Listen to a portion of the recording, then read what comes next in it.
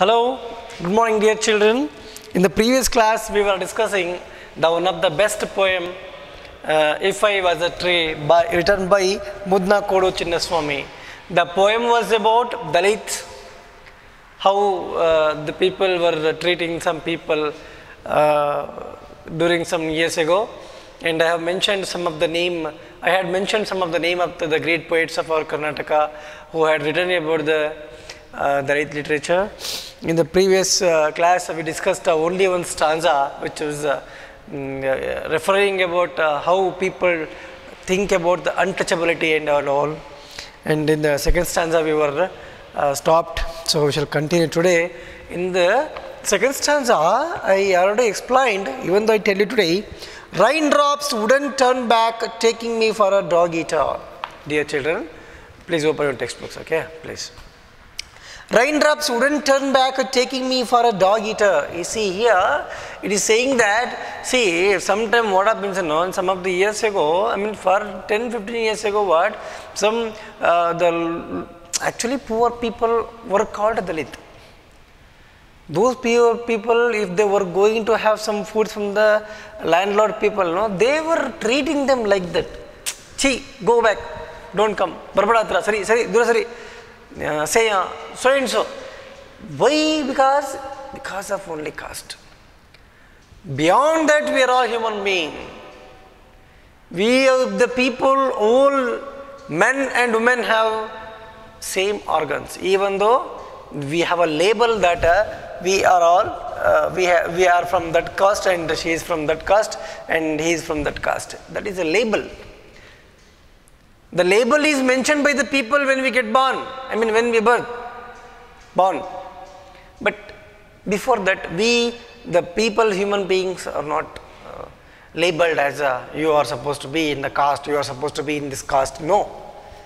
So that poem was saying that I am out of anger if I am a tree, if I was a tree.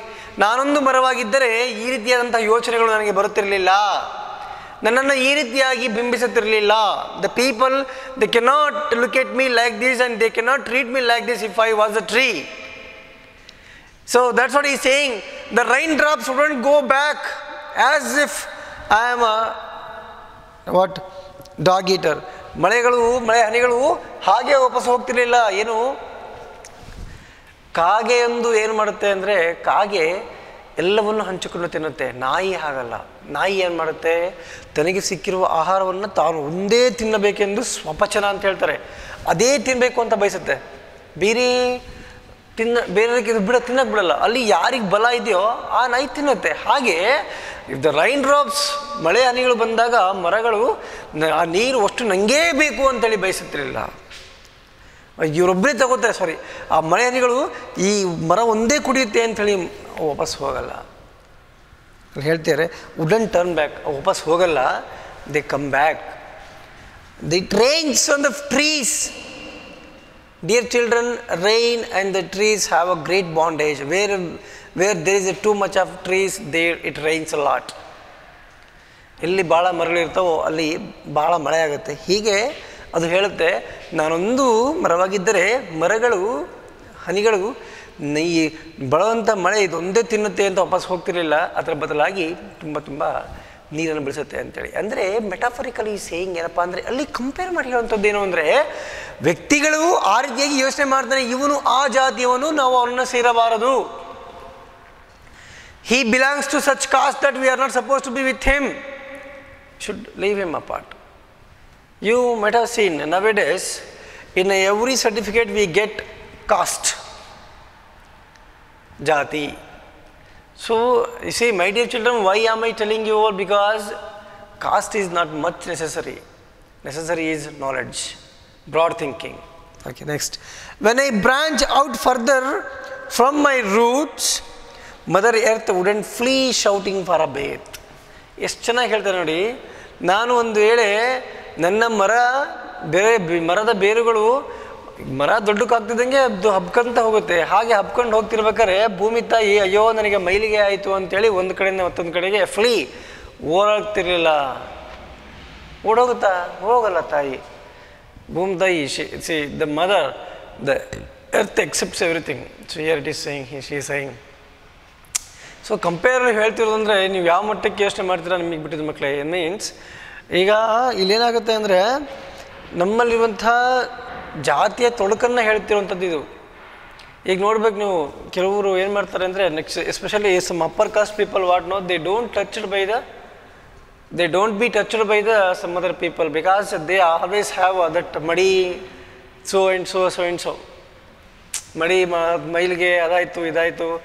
No ನಾವು see regarding this many of the people have been spoken about this that the people should not treat like this because it is a natural thing ಇವೆಲ್ಲವೂ ತುಂಬ ಇದ್ದಾವೆ ತುಂಬ ಇದ್ದಾವೆ so ಮೈಲಿಗೆ my mother wouldn't flee shouting for a bath ನನ್ನ ಬೇರೆಗಳು, ನನ್ನಲ್ಲಿರುವಂಥ ಬೇರುಗಳು ಹಿಂಗೆ ಎಕ್ಸ್ಪೆಂಡ್ ಆಗಬೇಕಾದ್ರೆ, ಈ ತಾಯಿ, ಭೂಮಿ ತಾಯಿ ಎಲ್ಲೂ ಓಡೋಗ್ತಿರಲ್ಲ ಮೈಲಿಗೆ ಆಯಿತು ಮೈಲಿಗೆ ಆಯಿತು ಅಂತೇಳಿ. Whether I should tell or not I don't know but I tell you Basavanna one of his thought is says that ಮುಟ್ಟಾದ ಹೆಂಗಸನು ಮುಟ್ಟವಲ್ಲರು ಮುಟ್ಟು ನಿಂತು ಹುಟ್ಟಿದ ಮಗುವನ್ನು ಎತ್ತಿ ಮುದ್ದಾಡುವರು. Sarvajna not Basavanna. Sarvajna is says so these are all natural things which is to be happen that to be happen even the people we treat the human beings like that that should not come ಮೈಲಿಗೆ, ಅದು, ಇದು ಅಂತೇಳಿ. No that not beyond that we are are human being we should treat everybody as in a good manners ಅನ್ನೋಂಥದ್ದು ಮಕ್ಕಳೇ.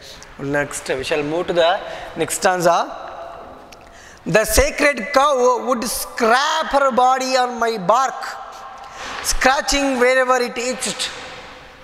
ನಾನೊಂದು ಮರವಾಗಿದ್ದರೆ ಗೋವು ಗೋವೊಂದು ಬಂದು ತನ್ನನ್ನು ತಾನು ಹಿಂಗೆ ತನ್ನ ಮೈ ಕಡಿತವನ್ನು ತುರ್ಸ್ಕೊಳ್ತಿತ್ತು. ಎಲ್ಲೆಲ್ಲಿ ಅದಕ್ಕೆ ಕಟ್ತಾಗ್ತಿದೆಯೋ ಅಲ್ಲಿ ಅಂತ.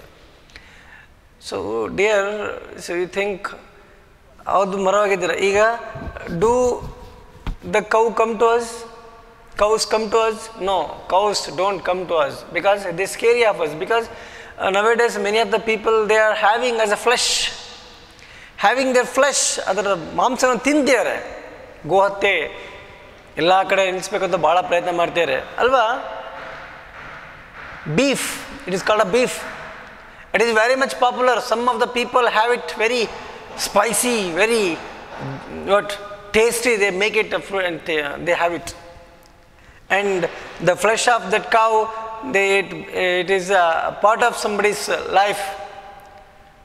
They prepare very well and they eat in some of the ceremonies. So, in our India, some of the people are trying and even I too support for them, go, they ನಿಷೇಧ ಆಗಬೇಕು ಅಂತೇಳಿ. So here the sacred cow ಒಂದು ದಿವ್ಯವಾಗಿರುವಂಥ cow it means that ಗೋಮಾತೆ. ಗೋಮಾತೆ means ಏನಂತ ಹೇಳ್ತೀವಿ ನಾವು, ಅದನ್ನು ಕೇಳಿದಿನಲ್ಲ, ಗೋಮಾತೆ of course you all know that she is a goddesses she is like goddesses Deepavali ಹಬ್ಬದಲ್ಲಿ, ಅದನ್ನು ಮನೆ ಕರ್ಕೊಬಂದು ನಾವು ಕಾಲು ಪೂಜೆ ಮಾಡ್ತೀವಿ ಅಲ್ವಾ? ಅಲ್ವಾ?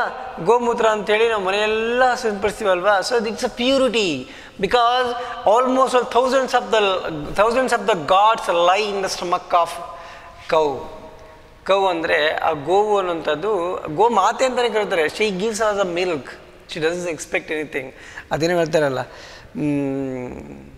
ತಟ್ಟಿದರೆ ಬೆರಣಿಯಾದೆ, ಸುಟ್ಟರೆ ಬೆಂಕಿಯಾದೆ, ನೀನಾರಿಗೆ ಬಿಸಾಕಿದರೆ ಸಗಣಿಯಾದೆ, ಸು, ಸುಟ್ಟರೆ ವಿಭೂತಿಯಾದೆ ಇದ್ದರೆ ಸಗಣಿಯಾದೆ ನೀ ಯಾರಿಗಾದೆ ಎಲ್ಲಿ ಮಾನವ ಅಲ್ವಾ ನಾವು ಯಾರಿಗೆ ಆಗ್ತೀವಿ no we are all born to destroy but these animal these creature these nature is to create something new it is require for the human being but man being a man, he snatch everything, he destroy everything, and he says that he, he lives as a dominant in the society and in the uh, in this environment. Actually, whatever to be, whatever is to be taken, that should be taken. Except that we should not take. But everything has end. ಎಲ್ಲದಕ್ಕೂ ಒಂದು ultimate end ಅಂತ ಬರುತ್ತೆ ಆವಾಗ ಯಾರೇನೂ ಮಾಡಲಿಕ್ಕಾಗೋದಿಲ್ಲ so ನಾವು it is come to the lesson ಒಂದು secret ತುಂಬ ದಿವ್ಯವಾಗಿರುವಂತಹ ಪವಿತ್ರವಾಗಿರುವಂತಹ ಒಂದು ಗೋವು a divine cow comes the tree and it each is body ಅದು ದೇಹದಲ್ಲಿ ಎಲ್ಲೆಲ್ಲಿ ಅದಕ್ಕೆ ಕಡ್ತಾಗಿರುತ್ತೋ ಅಲ್ಲೋಗಿ ಇದನ್ನು ಕಡ್ತನ್ನ ಇದು ತುರ್ಸ್ಕೊಳ್ಳುತ್ತೆ ಅಂತೇಳಿ when if he was a tree cow doesn't cow doesn't come to us makle it scares very much but if you were if i were a tree definitely it would come. Ultimately, it comes to get a shadow. And the 300,000 goddesses, gods sheltering inside her would touch me. See how beautifully he is saying the poem.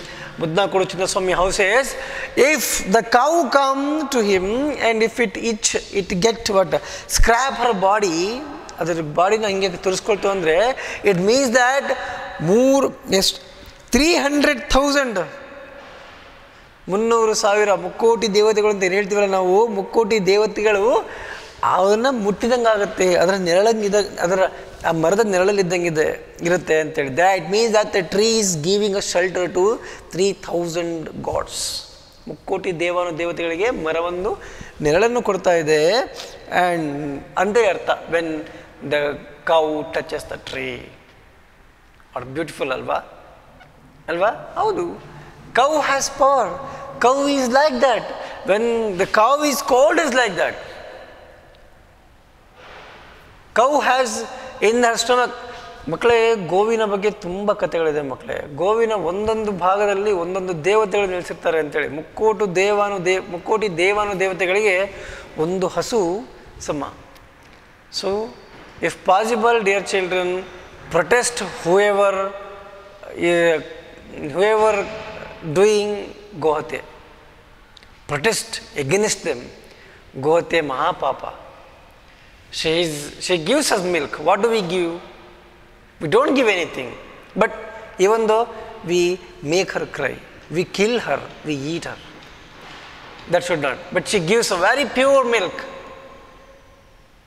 And the milk is to for the baby cattle. but we don't provide proper milk for the cattle. Instead of that we take the milk. Even though we kill the cow why am i telling because in the cow there are 3000 mukkoti devanu ದೇವತೆಗಳು ಅದರ ಹೊಟ್ಟೆಲಿದ್ದಾವೆ lies thousands of the temple gods instead of going temple you better go to the cow and pray worship and provide some prasadas if it uh, if it uh, eats whatever you provide it it means that the god blessed you instead of you people go to the temple and providing gold and offering to the god so and so no that is a live god living god wherever it comes and goes next that is in the last stanza we are now it's a beautiful stanza my dear children who knows at the end ಯಾರಿಗೆ ಗೊತ್ತು ಕೊನೆಯಲ್ಲಿ ಏನಾಗ್ಬೋದು ಅಂತೇಳಿ ಯಾವುದು hacked into pieces of my dry wood burning in the holy fire. Who knows? See, every person, everything has a end when it get birth and also it dies in some certain days. When it dies, if dry, if the tree dries, what do, what do the people do? They cut it and they get they make it a firewood. So here, here the Chinnaswamy is saying that if he was a tree, if he was dry, it was taken the woods of uh, him. I mean, uh, ಅದರ ಕಟ್ಟಿಗೆಯನ್ನು ಒಂದು purity ಕೆಲಸಕ್ಕೆ ದಿವ್ಯವಾಗಿರುವಂಥ ಕೆಲಸಕ್ಕೆ ಅದನ್ನು fire ಆಗಿ ಬಳಸಬಹುದೇನು? See burning in the holy fire holy fire ಪುಣ್ಯ ಕ್ಷೇತ್ರಕ್ಕೆ ಪುಣ್ಯ ಕಾರ್ಯಕ್ಕೆ ಯಜ್ಞ ಯಾಗಾದಿಗಳನ್ನು ಮಾಡಲಿಕ್ಕೆ ಬಳಸಬಹುದೇನೋ? ಯು ಹ್ಯಾವ್ ಸಿ ಯಜ್ಞಗಳನ್ನು ನೋಡಿದ್ದೀರಾ? ಯಜ್ಞಗಳನ್ನು ಮಾಡುವಾಗ ಯಜ್ಞಗಳಿಗೆಲ್ಲ ಅದನ್ನು ಬಳಸ್ತಾರೆ ಅನ್ನುವಂಥದ್ದು ಯಜ್ಞಗಳನ್ನು ಬಳಸಿ, ಯಜ್ಞಗಳನ್ನು, ಯಜ್ಞಗಳಿಗೆ ಒಂದು ಆಲ್ಟರ್ ಅಂತೇಳಿ ಕರೀತಾರೆ. ಯಜ್ಞನ altar altar in English so ಯಜ್ಞಗಳಿಗೆ ತುಂಬ ಪವಿತ್ರವಾದಂತಹ ಕೋಲುಗಳನ್ನು, ಕಟ್ಟಿಗೆಗಳನ್ನು ಬಳಸ್ತಾರೆ. ಯಾಕೆಂದರೆ ಅದು ದ ಹೊಗೆ, ಅಲ್ಲಿ ಬರುವಂತಹ ಪರಿಮಳ ಎಲ್ಲ ದೇವರಿಗೆ ಮೀಸಲಾಗಿರಬೇಕು ಅಂಥೇಳಿ ಮಾಡ್ತಾರೆ ಮಕ್ಕಳೇ.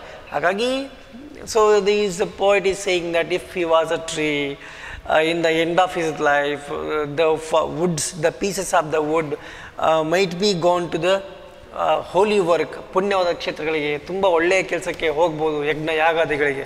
ಒಳ್ಳೆಯ ಕೆಲಸಕ್ಕೆ ಹೋಗ್ಬೋದೇನೋ, ಹೋಗುತ್ತೇನೋ ಅನ್ನುವಂಥದ್ದು ಅವರು ಪೊಯೆಟು ತಮ್ಮ ಕವನದಲ್ಲಿ ನಾನೊಂದು ಮರವಾಗಿದ್ದರೆ ಅಂತೇಳಿ ಹೇಳ್ತಿದ್ದಾರೆ. Next I might be made a pure or becoming the bier for a sinless body this is a good line very good line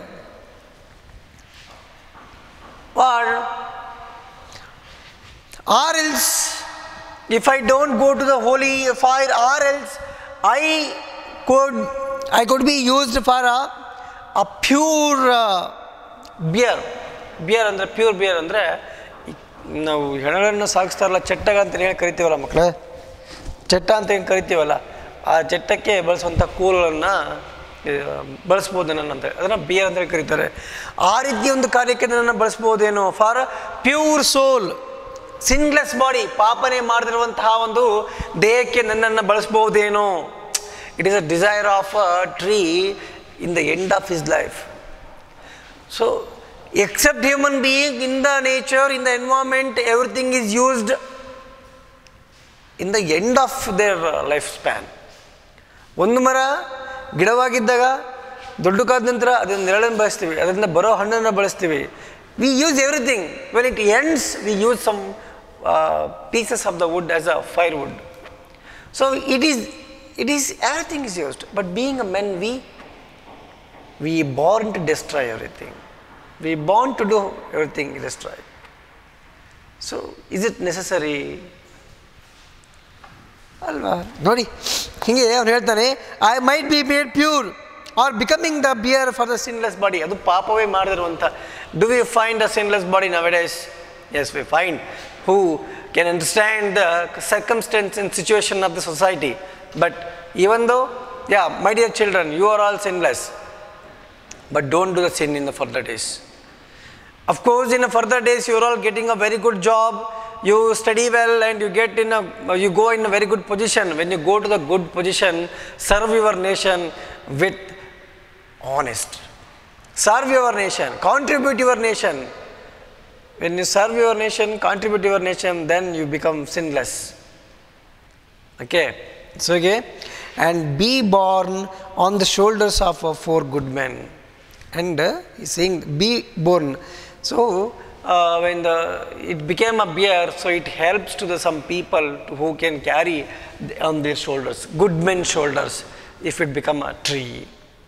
In the end of the poem, the last two lines, the last uh, shades, it has given in Kannada meaning, ಸತ್ಪುರುಷನೊಬ್ಬರ ಹೆಣಕ್ಕೆ ಚಟ್ಟವಾಗಿ ನಾಲ್ಕು ಜನರ ಸಜ್ಜನರ ಹೆಗಲೇರಬಹುದಿತ್ತೇ ನಾನೊಂದು ಮರವಾಗಿದ್ದರೆ ಅವರೊಂದು if you would have a tree or else if he was a tree he could have become a very good bier and also he could have helped a person ಸಜ್ಜನರ ಹೆಗಲಿರಬಹುದಿತ್ತು. ಸಜ್ಜನರು means is a person who is very pure and very calm he could he could be on the soldier by that he can completes his life with full of satisfaction ಅಂತೇಳಿ ಜೀವನಕ್ಕೆ ಒಂದು ಅರ್ಥವನ್ನು ಕೊಟ್ಟು ಜೀವನದಲ್ಲಿ ಎಲ್ಲವನ್ನೂ ಪಡೆದುಕೊಂಡು ಒಂದು ಅಂತ್ಯವನ್ನು ಪಡೆಯಬಹುದಿತ್ತು ಎಂಬುದು ಮಹದಾಸೆ. ಅದು ಯಾವಾಗ? ನಾನೊಂದು ಮರವಾಗಿದ್ದರೆ. ಯಾವಾಗ? ನಾನೊಂದು ಮರವಾಗಿದ್ದರೆ ಅಂತೇಳಿ. ಮಕ್ಕಳೇ this is your poem if I was a tree there children in the reading pre activity I told you that do you think that being a tree is more convenient than being a human being.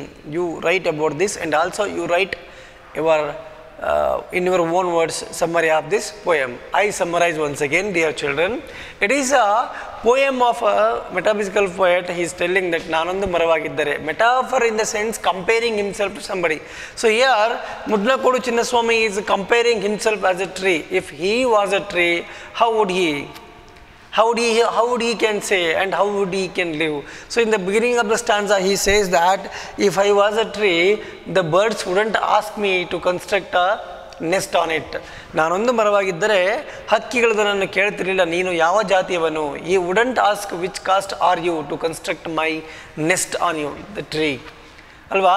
ನಾನೊಂದು ಮರವಾಗಿದ್ದರೆ ನಿನ್ನ ಮೇಲೆ ಗೂಡನ್ನು ಕಟ್ಟಲಿಕ್ಕೆ ಯಾವ ಜಾತಿಯವನು ನೀನು ಅಂತ ಕೇಳಬೇಕಾಗಿರಲಿಲ್ಲ ಅನ್ನುವಂಥದ್ದನ್ನು in beginning line he says and also when the sunlight embraced me ನನಗೆ ಈ ಸೂರ್ಯನ ಕಿರಣಗಳನ್ನು ತಬ್ಬಿಕೊಂಡಾಗ